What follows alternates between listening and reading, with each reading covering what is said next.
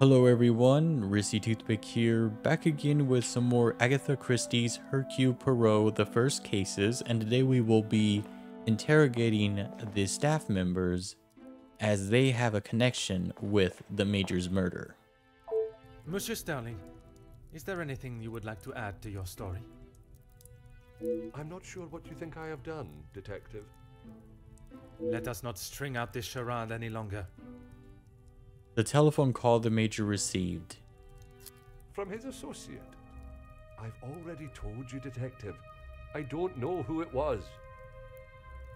Do not worry yourself on such details now. I suppose they were lucky to have called when they did. Otherwise, they may not have gotten through at all, with the telephone lines being down as of yesterday. Aye, Detective. Lucky, I guess. Monsieur Sterling is no fool. I believe he is aware I suspect him of something. Perhaps some careful worded questions are all that are needed for him to slip up. You were the last to see the Major alive when you brought him the bottle of whiskey in his study, correct? Whiskey? You took a bottle of whiskey to the Major. You spoke with Monsieur Demire en route. Aye, of course. It was a bottle he picked up from his last visit to Scotland. Rather smoky number from the Highlands. He was saving it for a worthy occasion. Drowning his sorrows must have been fitting enough. At first, he does not remember a bottle at all, and as if by magic, he recalls the exact details. Or was it the one from the west coast? You'll have to excuse my memory, Detective. It's not what it used to be. Can you explain why a medal belonging to the Major was amongst your belongings?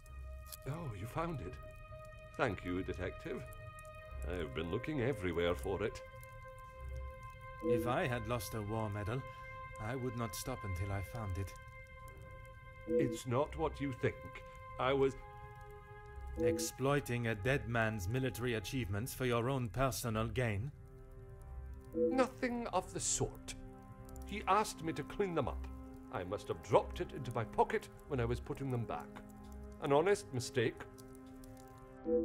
Never have I heard such a pathetic excuse to explain a stolen item in one's possession. I would expect a better lie from an infant. I cannot claim to be an expert, but I would presume a medal like that would be of quite some value. I wouldn't know. Probably. Your father was in the military for many years. That is what you told me.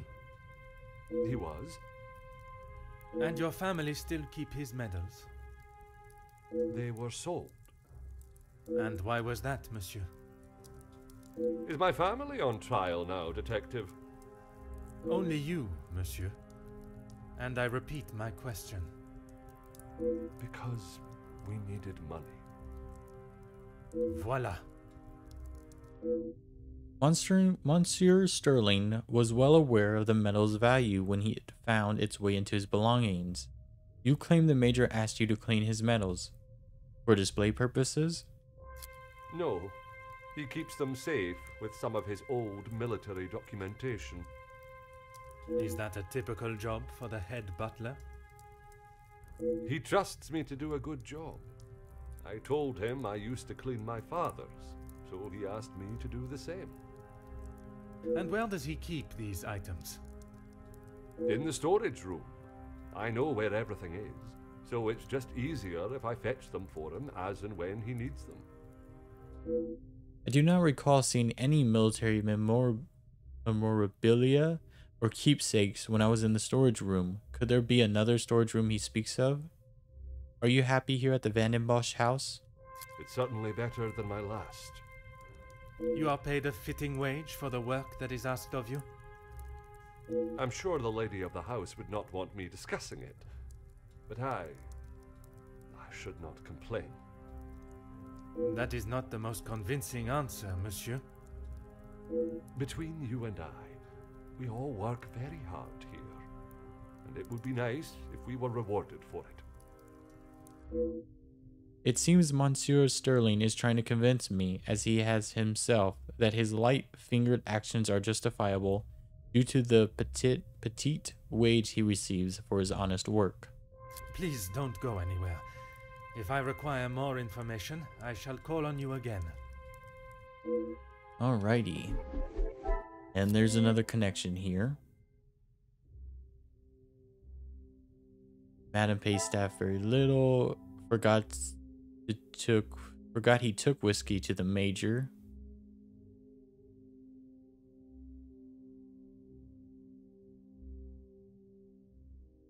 Archibald hasn't noticed the lack of calls. Let me try this one first. I cannot see the logic in this. Yeah, I already assumed it didn't work.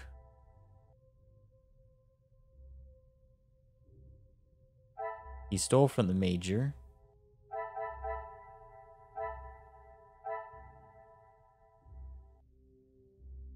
Okay, so let me see here.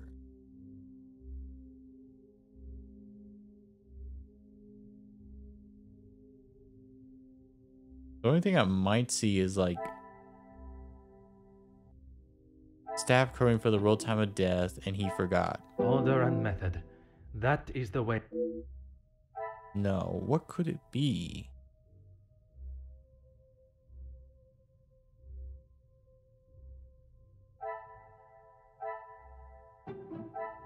This will not get me any closer. Okay, it's this one and worn out boots. Madam pays the staff very little. I should have known. I should not be surprised by my own skills of deduction. Sometimes it's so obvious that you just like overlook it. I should have known at first glance these belong to a member of the staff, but who?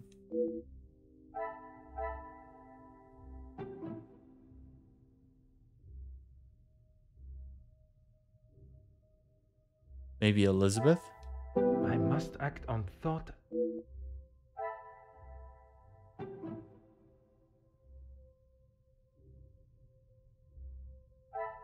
I cannot see the logic in this. Perhaps a second.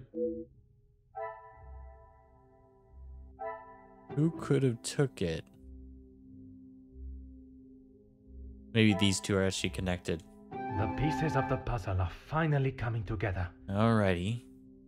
A staff member dressed in the major's clothes and took his position out in the snow for the guests to see. Why would they do this?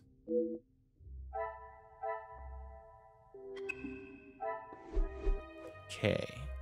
Let's talk to Ying here. Mademoiselle, I shall keep my questions brief.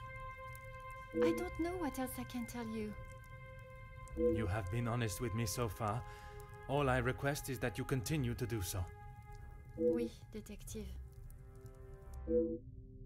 I am already aware of Mademoiselle's involvement with the blackmail, but I'm not sure if she is also connected to the Major's murder. Tell me what happened before you found the Major in his study. It was frantic in the pantry.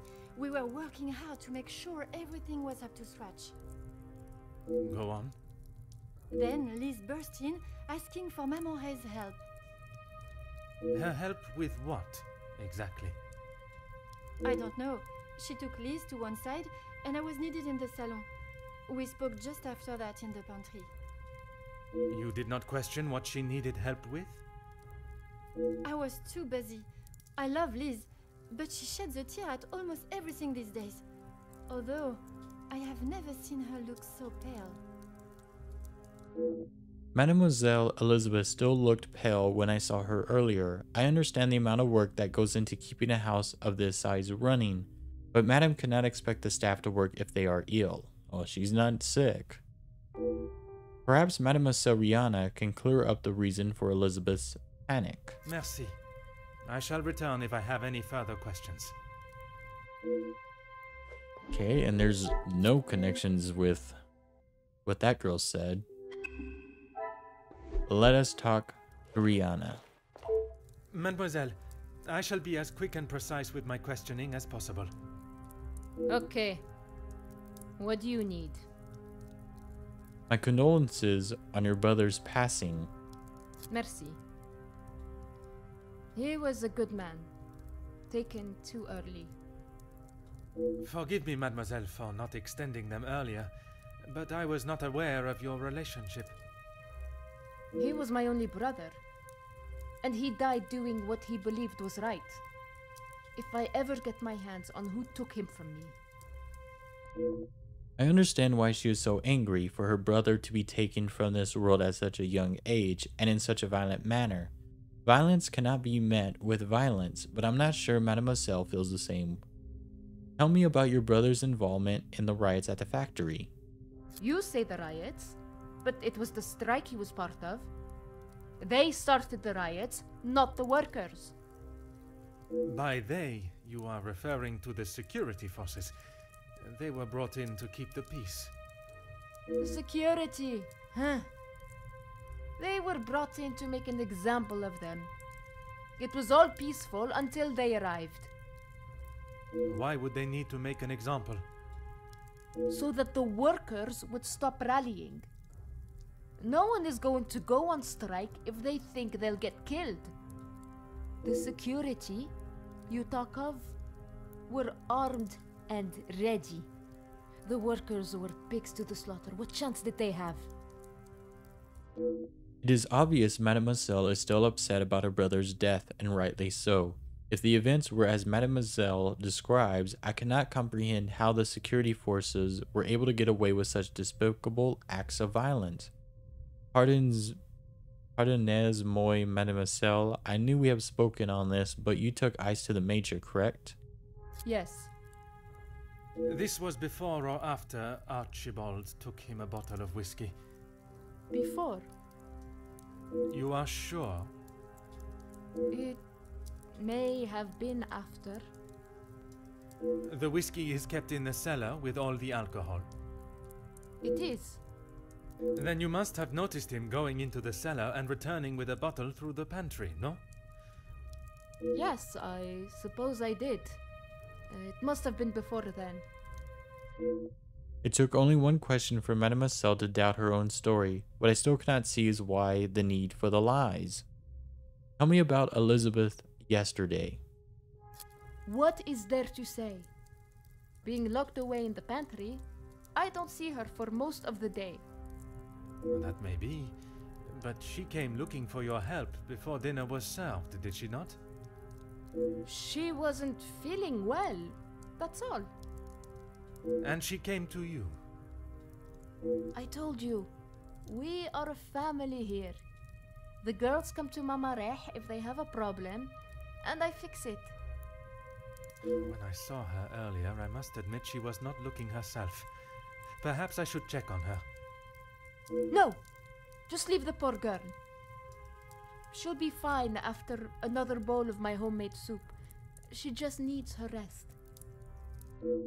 I'm sure Mademoiselle Rihanna is a loving mother figure to the staff while away from their families, but her eagerness to keep me from seeing Mademoiselle Elizabeth again does not sit comfortably. Merci, mademoiselle. That is all for now. That's because Elizabeth is the weak link here that we could pressure into giving up the true story. Alright, so we have another link here.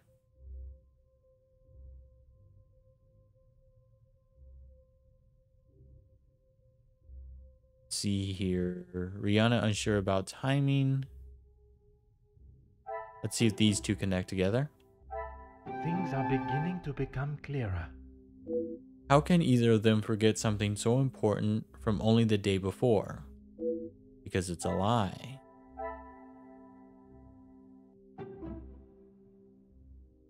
Okay. Maybe it's this connection. Things are beginning to become clearer.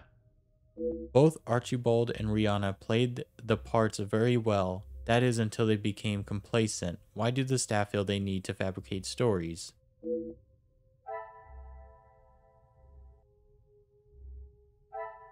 Okay. So it will be this one. Staff may be involved in the murder. Is there something I am not seeing? No. Could it be this one? Another success. I never doubted myself. I almost had to relay their stories back to them both. I obviously cannot truth a word they have said. Why are the staff hiding the truth from me? Because they're the killer. The pieces of the puzzle are finally coming together. It is a revelation I had not expected. The staff were involved in the murder.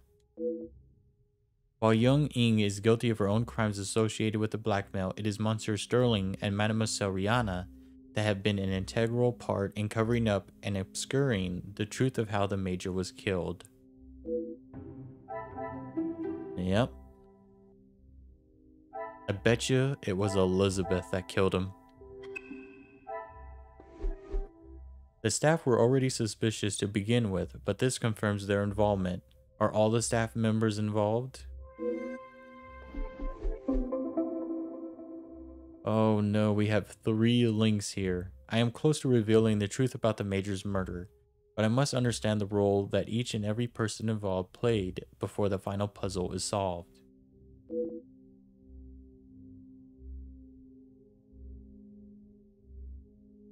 Okay, let's see if these two go to together. Come, my little grey cells. We mu- Maybe these go together. What a revelation! I cannot imagine the pain they have felt losing Luck. His memory will live on in their hearts.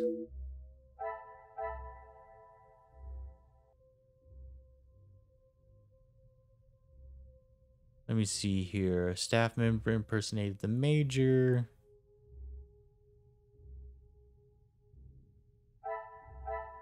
Maybe these two? I must take a different approach if I am to uncover.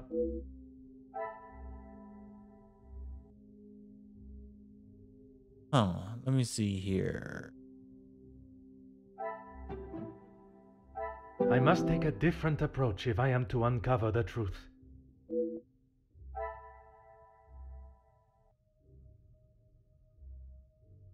Staff are involved in the murder.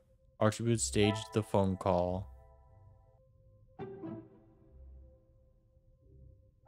This will not get me any closer.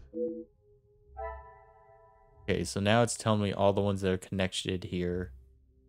So staff are involved in the murder. Elizabeth looked white coming downstairs. Magnifique.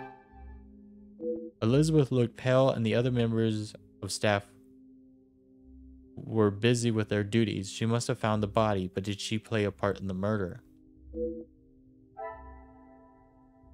And then Elizabeth found the body. Rihanna helped her. Some would say a lucky guess. I would say a moment of genius. Although her duties are primarily focused in the kitchen and pantry, I don't recall seeing her. Whoa, this one went 1 to 3. Okay, well, first off, let me connect uh, these. I should not be surprised by my own skills of deduction. I'm confident Ying isn't part of the cover up that has clearly been a focus for the other staff. Okay, and still two. So this one is connected to two things. Rihanna hasn't was wasn't seen after Elizabeth found the corpse. I should not be surprised by my own skills of deduction. Impersonating the Major was Rihanna's role in the plan. Why it was necessary, I'm not sure of yet. Why did she feel the need to cover for Elizabeth? And I'm assuming these are connected. Some would say a lucky guess. I would say a moment of genius. Archibald acting skills came into play to cover for a member of the staff, but who?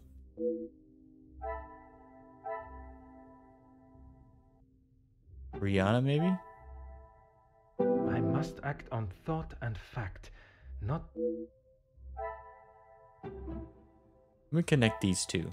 What a revelation! The staged phone call was Archibald's assignment.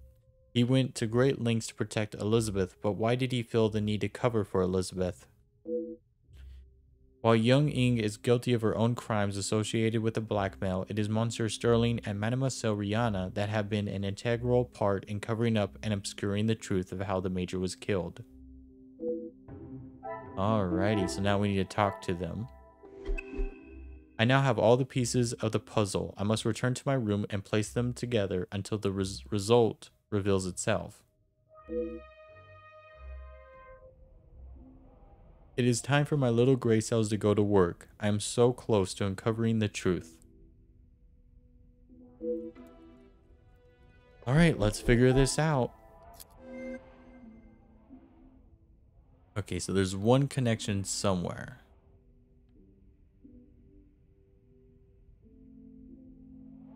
The only exclamation point is the staff are involved in the murder.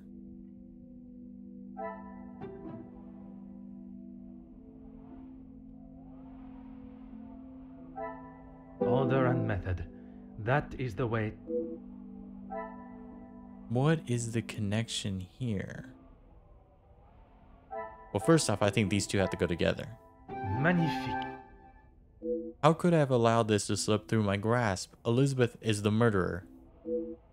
Oh, that was simple. I thought it was going to be a little bit more difficult, but Elizabeth did it. I thought it was the head butler, when in fact it was the maid we knew for a long time now. I cannot believe I did not see it, blinded by my own trust. When I look back now, the clues were there, staring me in the face.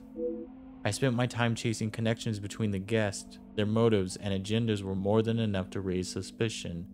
But while distracted by them, I failed to notice the one absent member of the household. What I still cannot grasp is why. I promised myself that after that fateful day in the capital, I would not let my judgment steer me adrift, but once again, it is I left, looking the fool. There is nothing more that can be done tonight. I must at least try to rest my head in preparation for confronting Mademoiselle Elizabeth in the morning. I'm to finish it. The truth. Alrighty. What in the world? Has an elephant escaped and made its way to the second floor? It sounds as though it is coming directly from above me, but that is the storage room. Looks like we might find something else.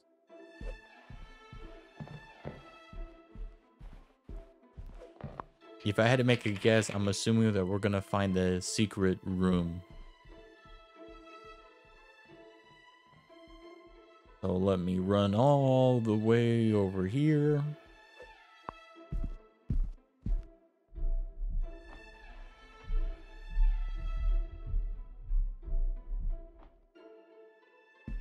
And where's this room that has the door like creaked open? Okay, not that one. Over here.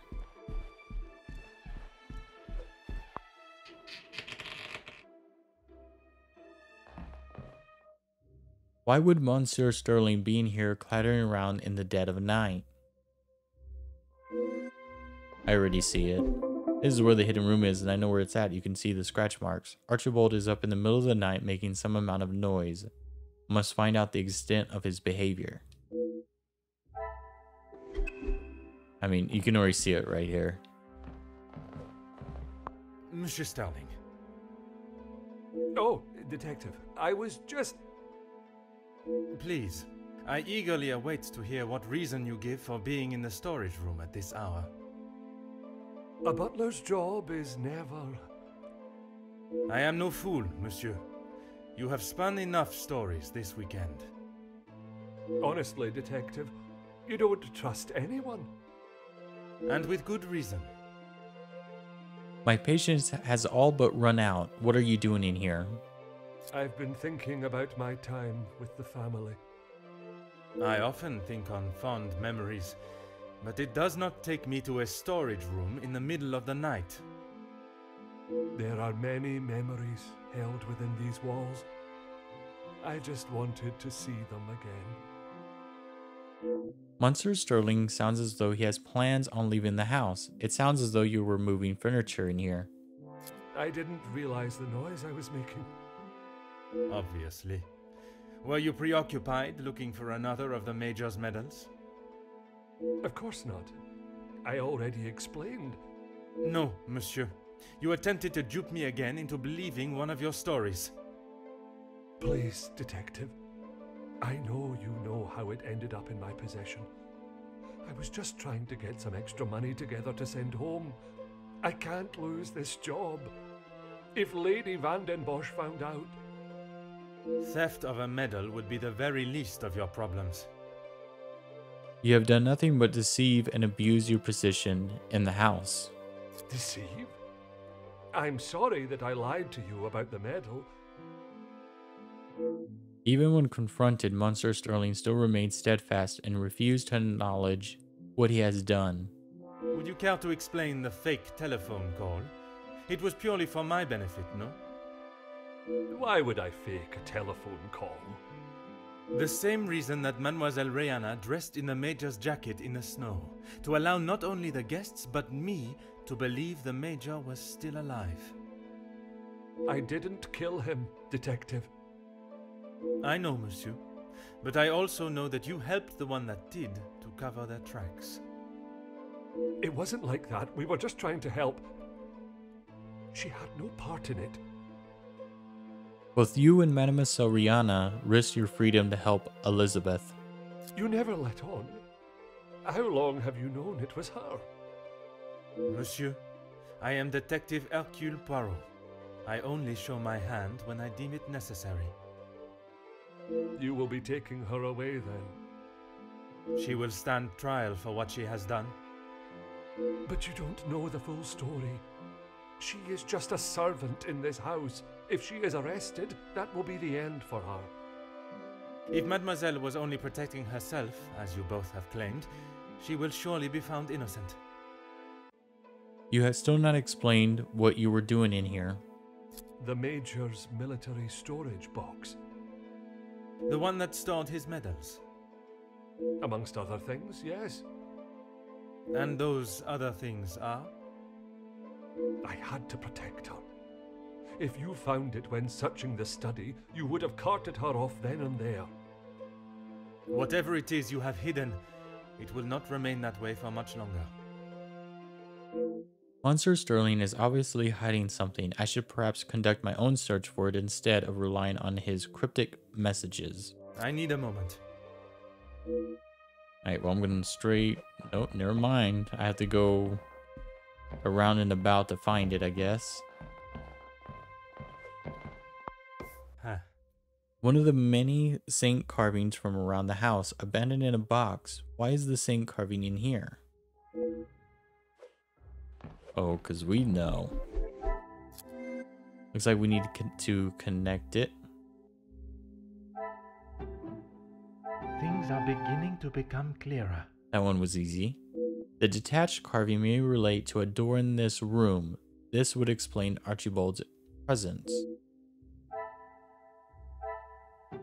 Secret room, accessible within storage room.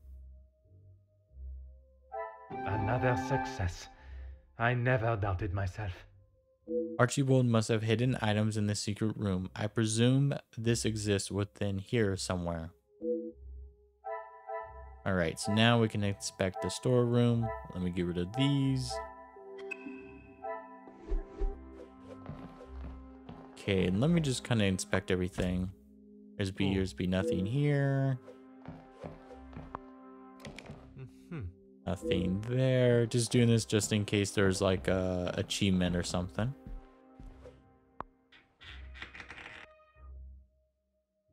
And we found it. Aha, a hidden room. It seems there are more secrets in this house to discover.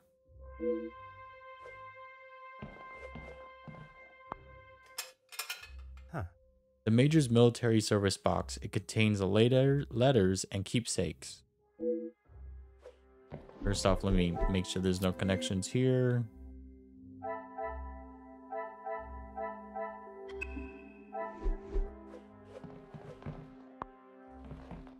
Hmm. An expensive looking lighter. It looks to have unfortunately been through a war. Oh, my little gray cells, I believe we already know something about this mystery. Uh, nope, you're a little too early there.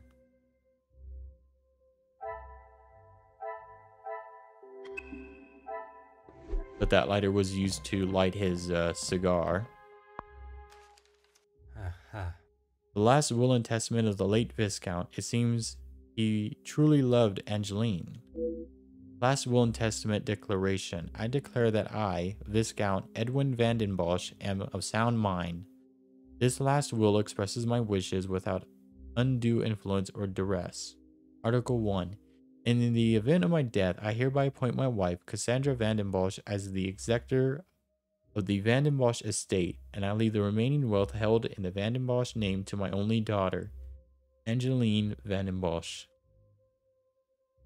Any outstanding debts, expenses of my last illness, funeral expenses, and administration costs are to be paid from the Van den Bosch account at the National Bank of Belgium. To my daughter Angeline, you are the apple of my eye and the brightest star in the sky. Never allow your light to fade for even a moment. It sucks for him. To my wife Cassandra, thank you for the many joyous years. We have laughed, we have loved, and we have brought the most precious of gifts into this world together. I trust that you will protect her and prepare her for a future full of opportunity and hope. Viscount Edwin van den Bosch. I feel sad for him because, you know, it wasn't his real daughter. And there's the murder weapon. A Uh-huh. prestigious looking knife, likely belonging to the Major. Now that should be everything. And there's two connections. Potential murder weapon. The pieces of the puzzle are finally coming together.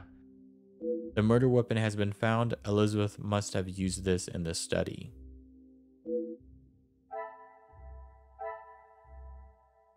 Dr. Archibald. There's one more here.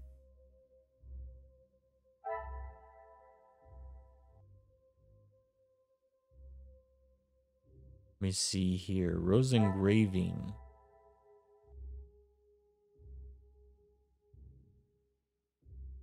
Unrecognizable symbol. I should not be surprised by my own skills of deduction. I am surprised I got that one. This lighter must belong to the Major. The army symbol uh, all but confirms this, but don't I already have this in my possession? Military lighter, the Major's lighter. Things are beginning to become clearer. The lighter I found in the military box is certainly the Major's, meaning the other one is not. And we just need to talk to the head. Butler here.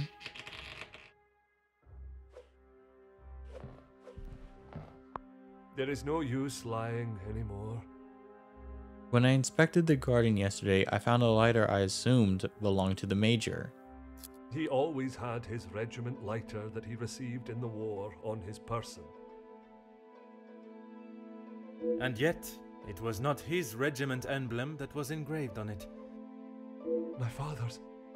It must have fallen out of my pocket. You still have it, Detective. Monsieur, you have stashed evidence, manipulated a crime scene, obscured my investigation, and yet it is a lighter that you worry about most? If it is my path to end up behind bars for what I have done, so be it. It is Elizabeth that you cannot allow to be locked up without the truth being told. I have heard how you fought for that young maid before. Florette, is it? I only ask that you do the same for Elizabeth. Although the cases differ greatly in severity, I can envision the similarities in how Mademoiselle Elizabeth will be treated by those in position of authority or social standing even before she is trialed. It is my oath as an officer of the law to uphold justice and fairness. Mademoiselle must be given the chance to prove her innocent innocence before the courts as any other suspect. The absent murder weapon. You found it. Even the secret area that has been created here is not concealed enough to stop Detective Hercule Poirot. Alright, let's be real here. That secret room, super easy to find. I couldn't just leave it at the scene for you to find. The Major was killed by his own knife. The knife that protected his life during the war would eventually be the one that ended it. It was in his holster when he attacked her. He had hold of her arm. What else was she meant to use to get him off of her? I cannot imagine the Major would have given his knife up easily. She must have been in close proximity to reach it. Perhaps he did attack her, as she claims. She didn't plan any of it, Detective. She was only defending herself. That is what Mademoiselle told you? She did, and I believe her. You think you knew the Major, but you had no idea. He was a monster and had more secrets than all of us combined. That may be true, but that does not excuse what she has done. Put yourself in her shoes for a minute. If a man like that had attacked me the way he did Lizzie, I would have done a lot worse to him. Mademoiselle Elizabeth has told Monsieur Sterling a version of the events that suggests she was attacked by the Major. I struggle to believe that she would make such a story up, but then I also did not believe she could do such a thing as commit murder. I need a moment. Alrighty, but we're gonna stop there today. In the next one, we will connect the dots and possibly go in front of everyone and disclose the information of the murderer.